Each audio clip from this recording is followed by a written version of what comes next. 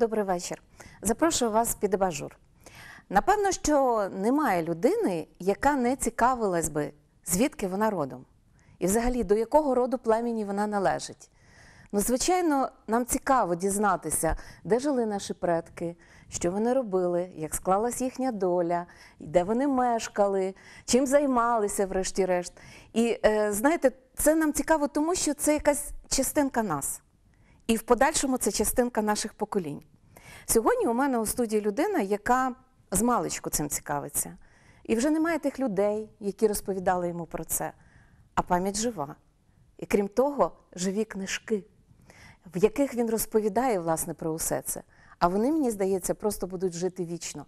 І і інформацію можна буде черпати постійно от з тих книжок, з тих поем, з тих повістей, які він пише. Це поет, це заслужений журналіст України Анатолій Ненцинський. Сьогодні у мене під абажуром. Добрий вечір. Доброго вечора. Анатолію Йосиповичу, я насправді дуже рада бачити вас і дуже рада, що ви в тому здоровому гуморі, в якому ви завжди були, і скільки я вас пам'ятаю. І дуже рада, що ви продовжуєте творити.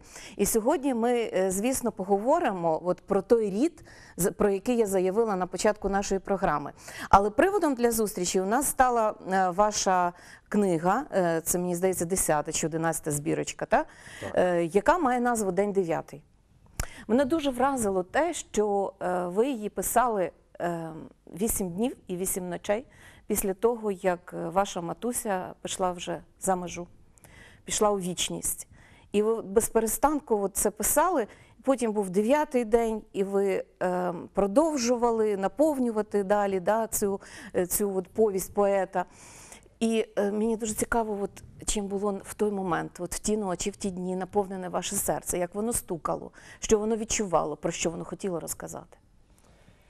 Ну, мама померла 6 грудня, 7 поховали.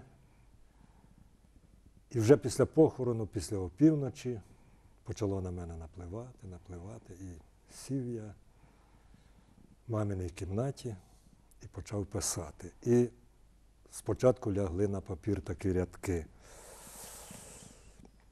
про те, як ми з мамою садимо озимий часник.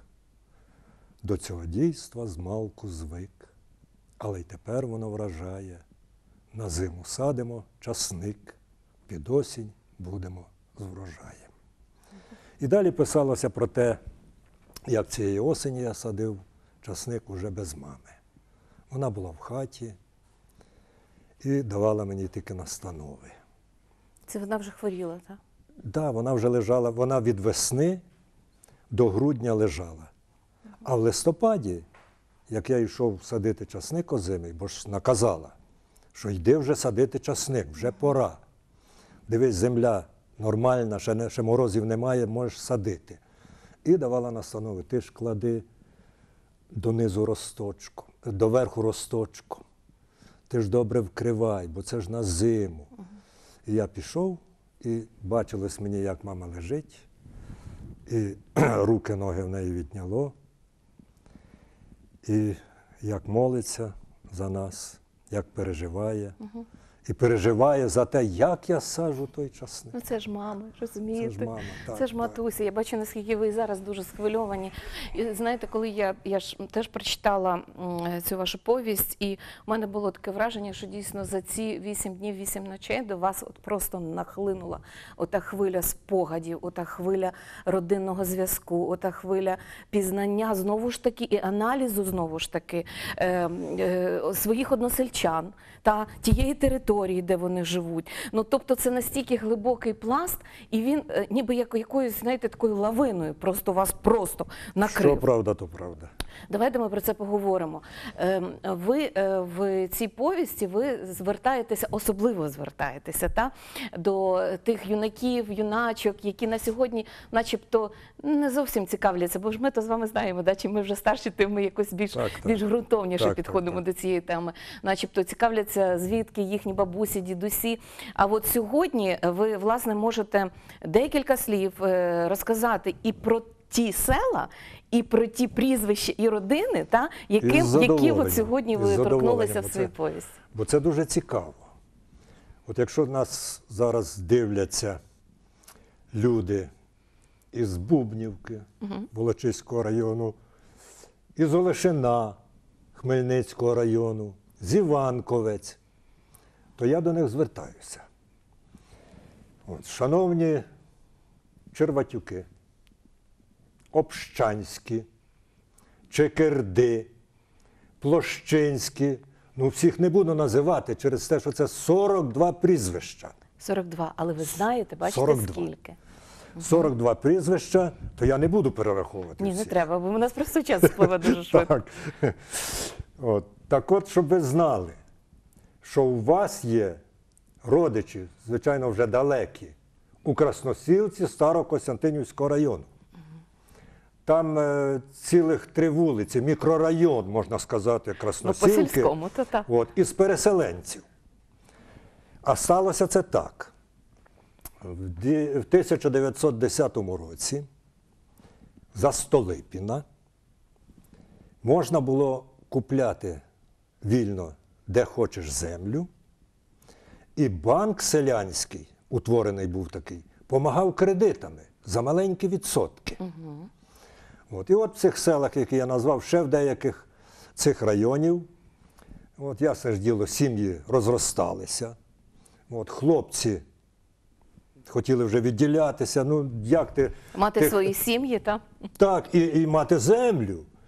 А як мали там е, тих п'ять десятин, а чотири хлопці, то що ж як поділити, що ж воно виходить тоді? От. Так, і вони тоді? А тут нагода трапилася. У Красносілці мав ті землі генерал Бутусов з Петербурга.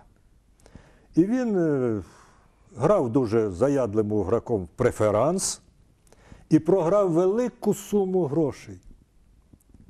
А це ж справа честі віддати цей борг, карточний борг, е, долг. Не стрілятися ж йому. І що, почав от продавати, так? І от він продавав ті землі. Вирішив продати всі ті землі. Було 2500 десятин там. І він вирішив продати, ну не знаю, я не заглиблювався. Певно, десь е, біржові відомості дав обяви, десь тут е, дав обяви, оголошення дав в е, газету, в газети. І що? І хто туди переселився? Хто це купив і ці от, землі? І от поїхали і купили там землю, я вже казав, Черватюки, от, Общанські, Кметі, Подлюки. Це вже я пригадав знову Подлюки із цих районів, які я назвав. І зараз, звичайно ж, е, вони з тих родів, от, бо поїхали брати, наприклад, а брати лишилися в. Бубниці, Дембіцькі, наприклад, в Бубниці лишилися. От. І от, значить, е, А ваш, от ваш рід, він взагалі а, звідки? це, це теж е, цікаво, який мій, як мій рід там опинився. Е, там є таке невеличке село Ланок. Так. От. Мої, е, мій е, дід Павло Ненцінський, ну, Павел Ненцінський, бо поляк, приїхав з Вінницької області, купив там землю, і ті люди, що приїхали з Вінницької області, села такі там е, Терешпіль, це неважливо, приїхали туди. Це дід І- по якій лінії? По маміній? Це по, по батьковій По лінії. Да, в мене батько Йосип Павлович. От. Він там, до речі, і народився. Заснували ті люди село Ланок, воно й зараз є. І е, в тому селі, в 17-му році, і народився мій батько. А мама народилася у сусідньому селі Свинна. Тепер воно називається Веснянка. І ви ж там теж народилися. Так, я потім дійду потім до цього, то, то цікава історія теж. І от мама в 37-му році, мама з 24-го року, в 37-му році маминого батька забрали НКВДисти. Ну, у вас ж, по-моєму, та, два дідуся, і куркулі, і вороги народу, Так, і їх обоє. розстріляли, на жаль. І, і батькового батька в 37-му році, і його старшого брата Миколу репресували і розстріляли. І маминого батька теж. Мама її померла в 35-му році, а в 37-му батька забрали, і вона стала сиротою, круглою сиротою. А в неї вчився в Києві брат її старший, Антон, вчительському інституті. Тепер це імені Драгоманова. Так. Педагогічний. Так. І він там вчився, тоді був вчительський інститут, просто називався він. І він там вчився, і після того, як батька забрали, передали йому туди, він приїхав, забрав Юлю маленьку, ну, правда, вже їй 13 років було, забрав її в Київ до себе.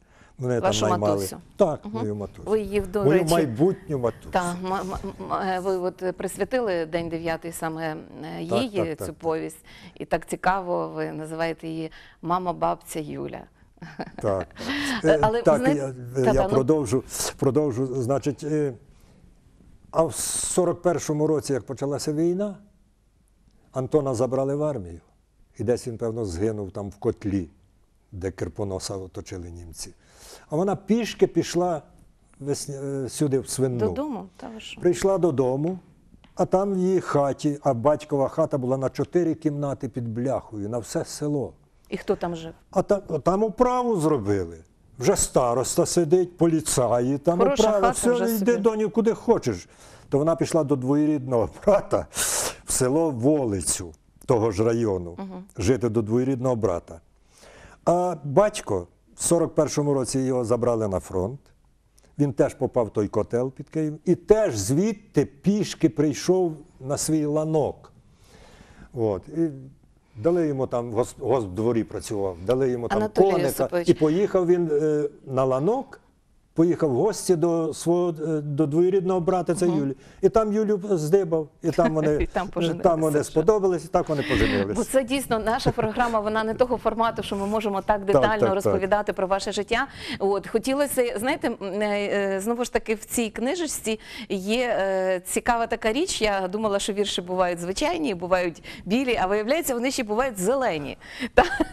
І ви, коли були молодий, от саме цій темі, ну присвятили Так, такий так, невеличкий вірш. І я би хотіла сьогодні його от почути от з цієї книжечки.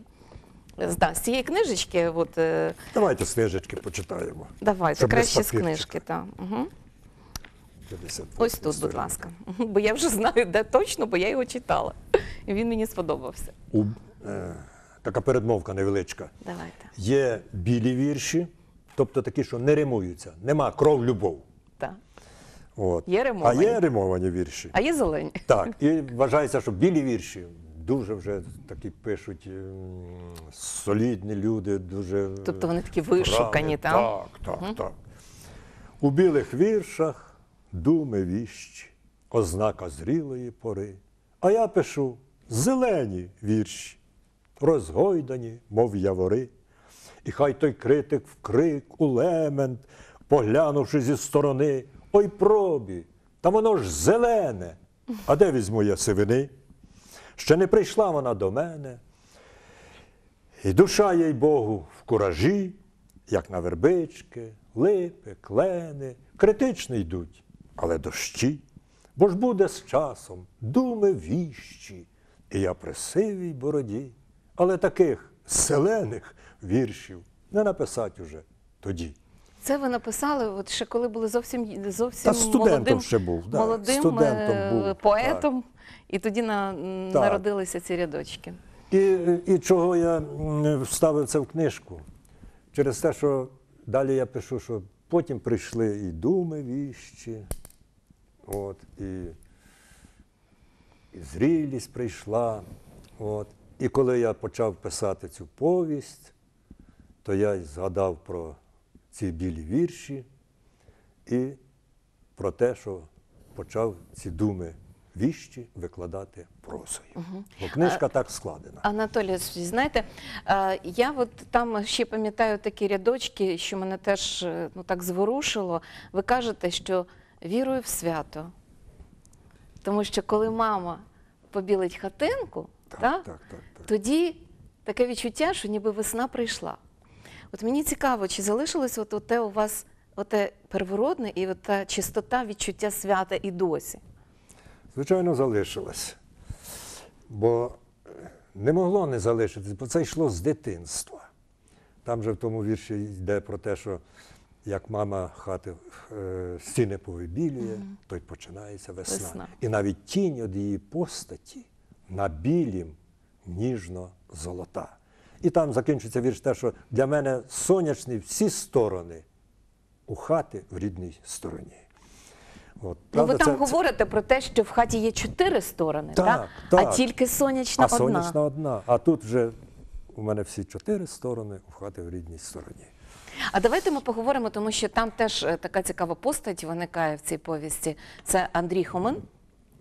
Та який, який стосунок він має до того ж самого Петлюри, який стосунок він має до Якова Гальчевського? Декілька слів про це.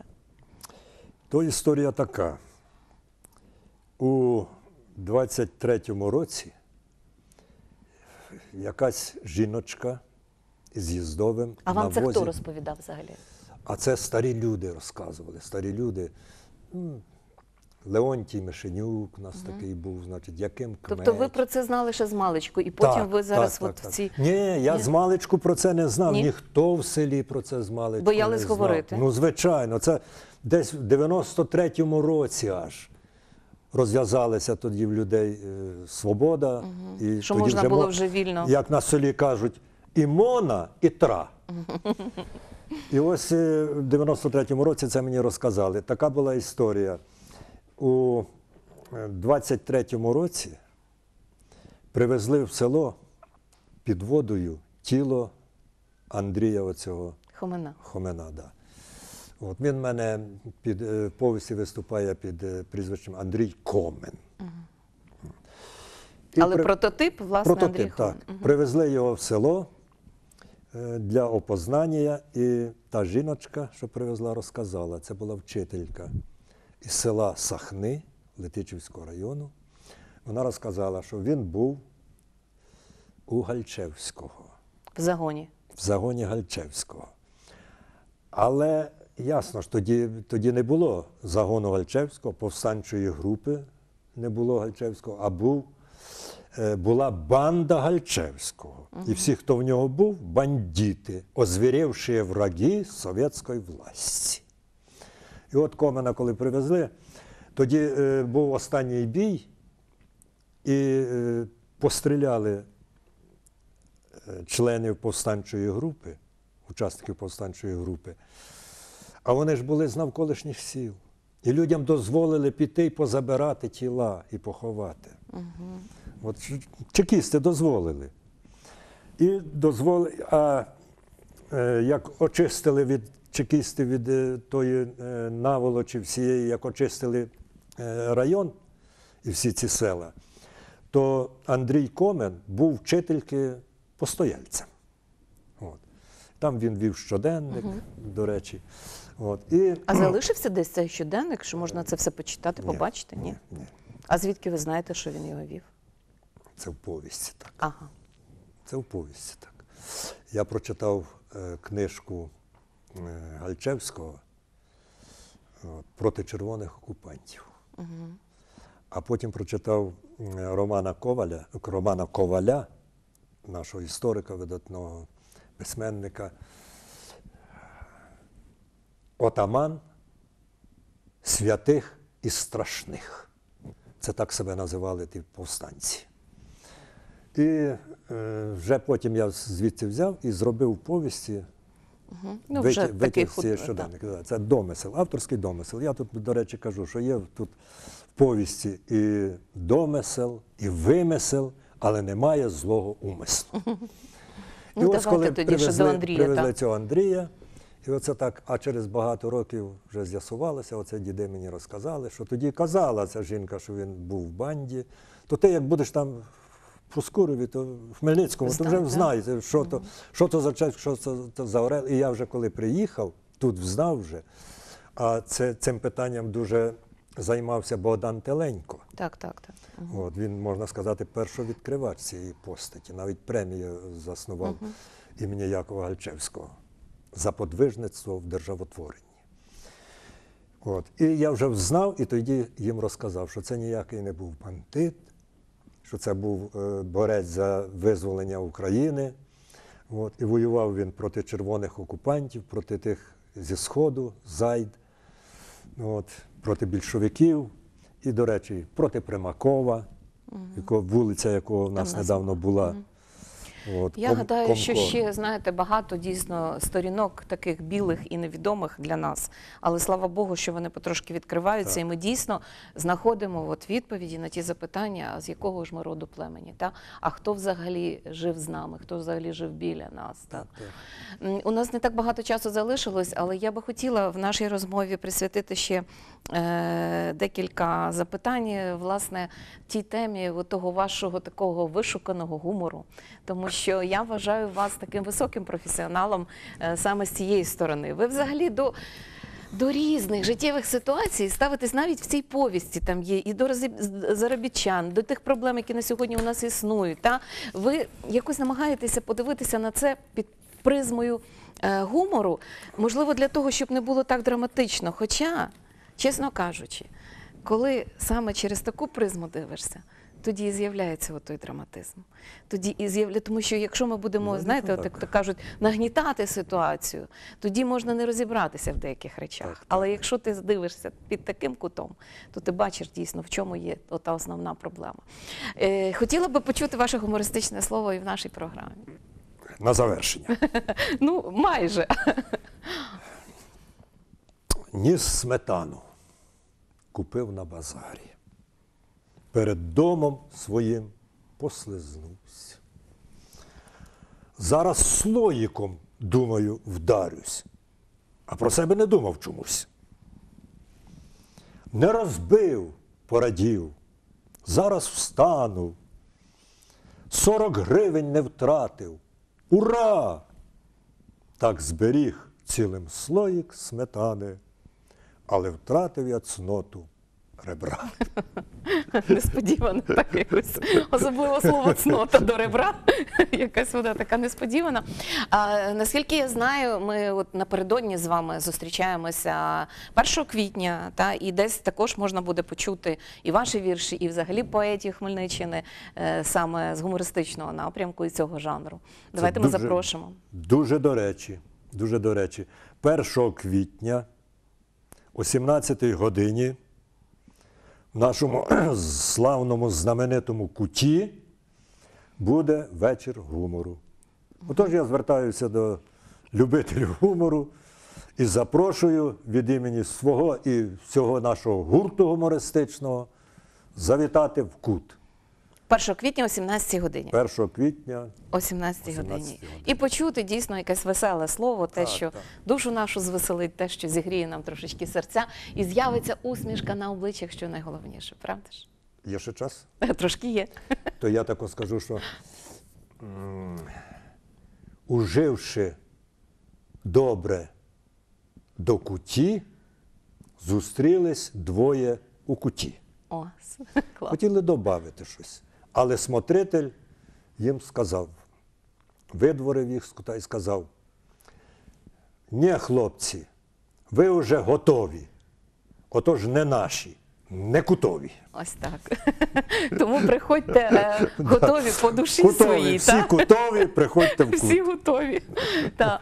Ну і наостанок я би хотіла все ж таки поставити вам ну таке запитання серйозне, як на мене. От ми говорили про ті сонячні сонячну сторону. Та в у хаті є чотири сторони, і тільки сонячна одна.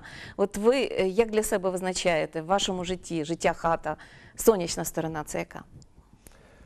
У мене всі чотири сонячні моєї хати. Е, Всі чотири сонячні. І ще хочу тут додати, що тієї хати вже нема. Вже є нова хата, ну так порівняно нова, в 70-му році збудована. От, На і тому ж місці, так? на, трохи збоку, звичайно, трохи збоку. І цієї хати, уже в цієї хати, сонячні всі чотири сторони для мене і для внуків. Оце Для так. мене, для моєї дружини і для внуків. Анатолій От, і, до речі, я може я зачитаю зараз е, епілог. тільки дуже швидко. Дуже швидко, так. Епілог зачитаю.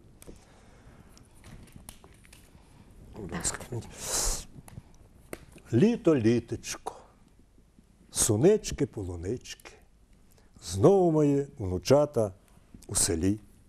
Дмитрик владі запліта косички, на долонях трудовіє мозолі, Вчора лободий осоту військо сапкою понищив по грядках. Дощ пішов, повторював англійську, перейшов, покликала ріка, а бабусі Томи нема вдома. Вранці сіла на велосипед і поїхала на інкубатор до Гальоми. А за чим? То поки що секрет. Ой, раділи Дмитрик і Владуся. Звістка облетіла пів села. Чудеса у решеті, бабуся на багажнику їм з міста привезла. привезла. Анатолій Йосипович, дуже рада зустрічі з вами і бажаю вам творчого натхнення, бажаю вам довгих років життя і творчого, і взагалі такого от тілесного і душевного, щоб ви почувалися Дякую. гарно і творили. Дякую. Дякую вам щиро. Ну а телеглядачам я побажаю і землякам з Красносілки, і всім землякам з нашого Поділля жити в доброму здоров'ї, довголітті, і щоб поменше було оцих наших сучасних негараздів. Дякую вам і за теплі слова. Прошу. Ну і дякую нашим глядачам. Ви дивились програму під абажуром. Розмовляйте більше зі своїми бабусями і дідусями, поки вони є, поки вони живі, і дізнавайтеся взагалі, звідки ви, якого ви роду племені. До побачення. Thank you.